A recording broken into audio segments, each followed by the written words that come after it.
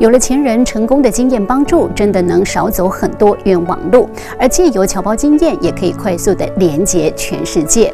侨委会在二零二一年首次举办全球杰出侨生校友选拔，包括广达电子董事长林百里、HTC 宏达电前创办人兼执行长周永明都入列。而同样在电子产业的杰出侨生，我们还要看群联电子创办人潘建成。他十九岁从马来西亚到台湾攻读交大控制系，二十。五岁完成交大电控所硕士，隔年也就是西元两千年，他跟另一位马来西亚侨生以及澳门侨生，再加两名台湾人，五个人在工研院的一间小小地下室成立办公室，凭着单纯的工作理念和学校习得的技术，成立了 Fison，这是取 Five Key Person 的谐音。五个人靠着创业伙伴们向亲友筹得的一百万美金白手起家。回想当年，他自嘲说，最早。只是为了每个月五千元的研究费，跟老师学习快闪记忆体技术，没想到跟上时代趋势，用这项技术创立了群联电子，不止做出世界第一个单晶片 USB 随身碟立足世界，更帮助 AMD 从跟英特尔的征战当中反败为胜，从台湾敲开世界订单。侨生来台念书也是台湾汇聚人才的一个管道。目前侨委会对侨胞招生的名额已经提升三倍，而且已经有超过十六万名侨生在台湾学业有成。他们回到家乡贡献，或是留在台湾发展。来看他们的故事。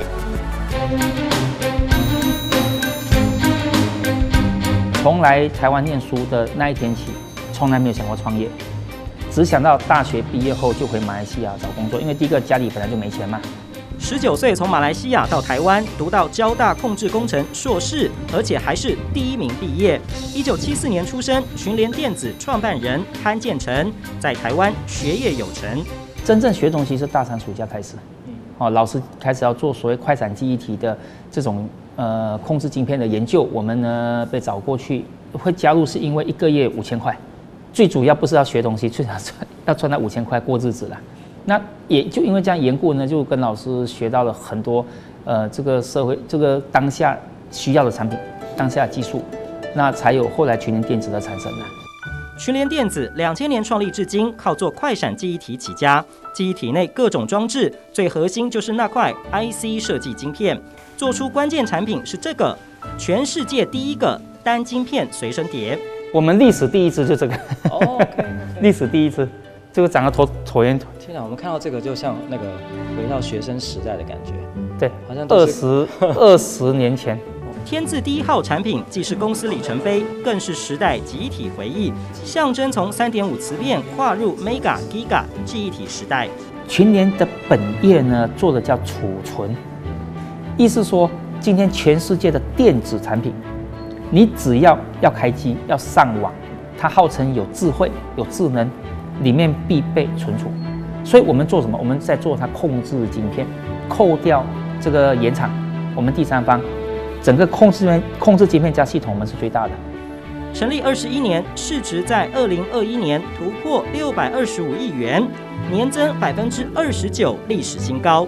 如今敢说世界最大。靠的是师承交大所学，IC 设计精髓。群联电子呢，坚持整颗 IC 百分之百自己做，所以我掌控力很高。所以我们这种形态公司呢，前无古人。后面会不会有追兵来者？我判断不会有。那我们唯一要做的就是加强人力资源跟研发投资。我们会成功，只有一个，就是研发要一直扎根，大量投资往前跑，跑快一点。但前无古人，看似市场优势，领头羊在高处也尝尽市场风寒。群联发展史也是台湾 IC 进化史，风光背后一波多折，像揭开太平洋上半导体大战序幕。零三年遇到这个大缺货，Samsung 呢本来只供给我，好，后来就把我撤掉，货直接撤掉，我们的营收直接归零，因为全球只有两家，不是他就妥协吧。好，那后来还是妥协吧救了我们。雪中送炭，占有一席之地。台日韩三大半导体国争夺，时而合作，多处竞争。二零一八年，一个让群联撑杆跳的机会从天而降。最大的契机，群联电子，你要看到今天的成绩呢？当然，大家努力，我们一二年的转型投资很重要。可是最大契机在二零一八年，AMD，AMD 一七年快快破产了，快死掉了。AMD 今天活过来是靠那个七纳米嘛？他做七纳米的时候呢，孤立无援，因为 Intel 呢，哈，这个把所有可能的资源都把它切掉。当年 AMD 被英特尔夹杀，急需关键产品转型，摆脱廉价处理器供应商定位。但英特尔扬言封杀，没人敢帮 AMD，转而找上群联研发第四代 PCIe，这是用来连接主机板跟 CPU 的晶片设备，没有它主机动不了。如果没有这支产品线，AMD 的系统平台的速度基本上跟 Intel 是一模一样，走卷山的。所以它的 CPU 就算你领先，你周边也起不来。就好比说，你今天呢从这个地方要到台北市，你没有高速公路。你就慢慢走，那我们得开出一条高速公路出来。这一仗成功，不止 AMD 起死回生，Intel 跌破眼镜，群联也从台厂跃升世界大厂，技术领导地位确立，从 AMD 敲开世界订单。真的九个月不眠不休，不眠不休，台积电也帮忙，toshiba 也帮忙给 Flash 赌住了，赌输了就认了嘛，赌赢了我们就可以翻身，好赌了，直接投屏量产，如果有问题就报废了。那个。全部材料七亿台币，我们在二零一九年七月七号那天协助他把产品放到市场上面去，全世界没人相信，但是因为有这个成绩，全世界的美国就老老板们都相信我们了。这是很多台厂精神，抢别人不敢抢的单，赚别人赚不到的财，南征北讨，发现别人已经追不上车尾灯。我觉得群联这个哈公司哈很奇怪，灾难越多。成长越快，群联电子哈二十一年了，从一开始什么都没有走到今天，你看到规模很大，可是二十一年，我老实说，每一年都有它的挑战，每一个挑战我都觉得我们克服不了。如今疫情驱动全球晶片荒，半导体日不落，但半导体人才后继却零零落落。潘建成多次投书媒体。以自己成功侨生案例，呼吁政府引进侨生人才，补强职缺。群联本身一方面在台湾扩编工程师，潘建成也到大学办说明会，一方面跟马来西亚大学合作，吸纳人才到台湾，复制潘建成模式。因为群联的成功也是侨生最佳典范。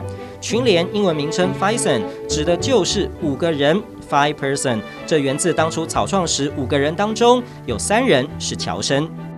那我觉得技术的开发对我来讲，我看不到。老实说了，困难吗？没有太困难。再一就是你要大量的人力资源。以去年的规模来讲，往前跑，新的技术绝对不是问题。那面临最大的问题就是人口，台湾的人口数严重不足嘛。那要么我们就跟大家一样用挖的，挖东家挖西家。可是我觉得这个真的不长进啊。所以呢，我启动了一个计划。我最理想找马来西亚。马来西亚华侨嘛，所以我们开始跟马来西亚的大学开始谈合作。哦，毕业生如果有意愿，我们就把他带过来。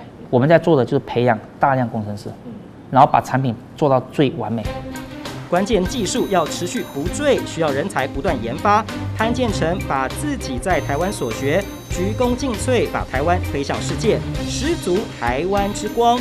世界半导体擂台上，前有他亲自领军，后就盼更多来者跟上群联为首的台湾队形。